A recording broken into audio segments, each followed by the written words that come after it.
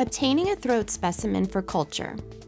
The purpose of this process is to obtain secretions from the nasopharynx and tonsillar areas for means of identifying a pathogenic organism. Have the emesis basin and tissues handy next to the patient. Ask the patient to open their mouth wide and adjust your light source if necessary. Remove the swab from the culturette using sterile technique. Ask the patient to say ah while you depress the tongue with the tongue depressor and swab the back of the throat and tonsillar area. Concentrate primarily on any red, raw areas and pustules. Be careful not to touch the swab to the outside of the cheeks or the tongue. Place the swab back into the culturette tube using sterile technique and crush the glass capsule containing the culture medium.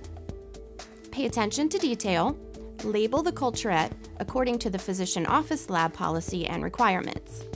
Ensure that the patient is comfortable and answer any questions related to the testing. Discard your gloves, face shield, and any other contaminated supplies into the biohazard waste container. Complete the laboratory requisition form in the presence of the patient, then record the procedure in the patient's medical record place the specimen and the requisition into the biohazard transport bag in their separate compartments and notify the laboratory that the specimen is ready.